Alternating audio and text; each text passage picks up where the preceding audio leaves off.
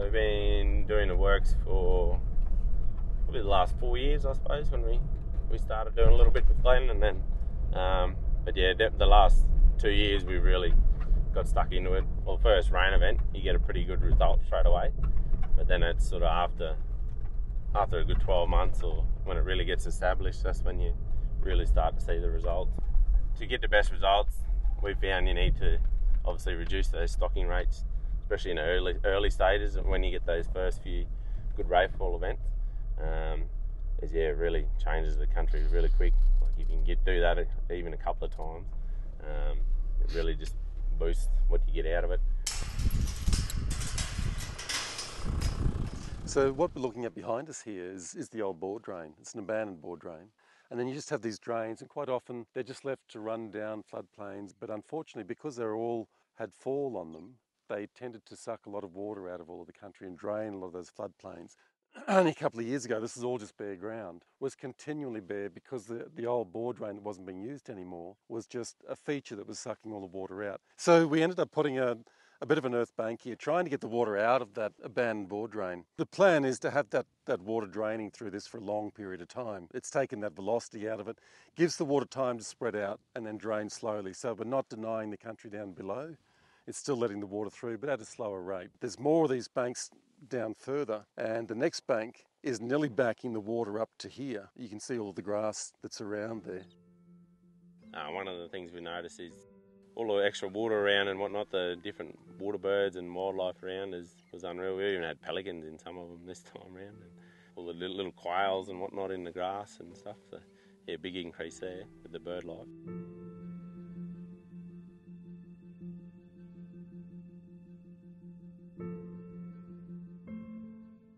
This is what it all looked like when we started. We started this works just here in September 2022 It had very little rain for 2023 and didn't start until November.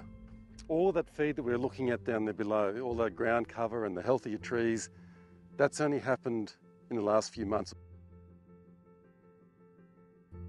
So Coolabahs are telling us a beautiful story. They're, they're telling us what the landscape used to look like.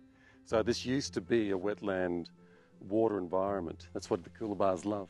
Up until a couple of years ago, there hadn't been water through this country for a incredibly long time, and all stemming back to that simple little bore drain back there that was draining the water.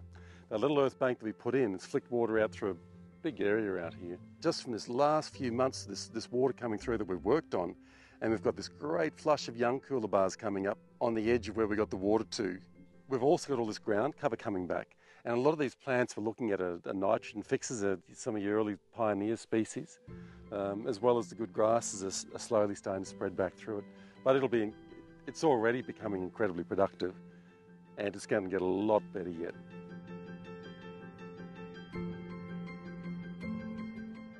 So previously, before we had the earthworks, all this school of country, um, in a rain event, it all would have gone into that into the watercourse over on that timber line, and there's another one out behind us here, and um, be all run off within sort of two or three hours. But now we're able to put water over this for or up to a week sort of thing if you get a decent decent fall 50 mil or something so um, get the full benefit of the rainfall.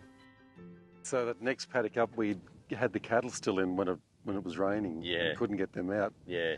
And it's they were just eating as quick as it came yeah, up. no Mitchell at all on that whole big plain and yet it got all those extra that that early run. Yeah as well. Yep.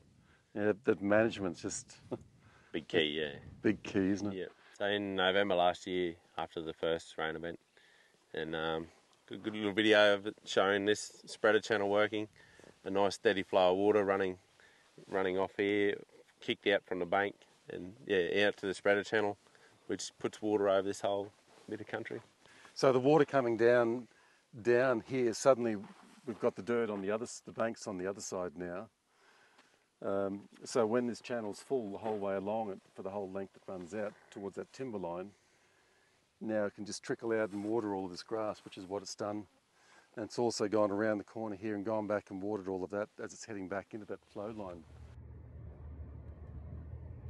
Obviously from the first few works that we did a few years ago, three or four years ago, saw the great benefits of that. So now we try and fit it into our work program, just try and allocate a week every now and then, and everyone get on a machine and, and um, get as much done as we can. Or if there's a good change in the in the weather coming, you see a bit of a change coming, we try and hook in a bit and get a fair bit done, ready for the change. Obviously, there is some financial gains just through the extra feed you grow and increased stocking rates through the through the better times if it's if it's managed properly and allowed to get going, um, as well as fixing the fixing the country as well. You like to see grass rather than this bare claypan country growing, um, as well as the financial gains of it too, obviously. And here on Waihora, just in the last three or four months, we've probably done best part of 90 kilometres of contour banks to slow the water and spread it out and, and try to help rehydrate the landscape, slow that flow of water. You can see this little bank here has already had a little bit of a shower on it, only had a small fall, and instantly how quickly it's starting to heal on the top side of the, of the contour bank. Well, we can hope, looking at these clouds, we might, be, we might have more rain coming soon. But it's certainly an ongoing process. There's been work going here now for five years. Uh, it's been a bit of a learning curve. We have had stuff that hasn't worked and had to go back and fix a lot of stuff, mainly make stuff bigger that we didn't anticipate the amount of water that we were going to shift around. The bigger machine obviously has made that a lot easier. But yeah, really important to have everything to get your levels right to start with before you you get excited and hook in and start doing earthworks. You've got to get all your levels sorted first. That's really important. Otherwise, you're just wasting fuel. Uh, all depends on your country type too. This type of works might not suit everyone. It works really well on our flatter country, but then in some other country it doesn't at all. You, you just got to use different techniques for different country types.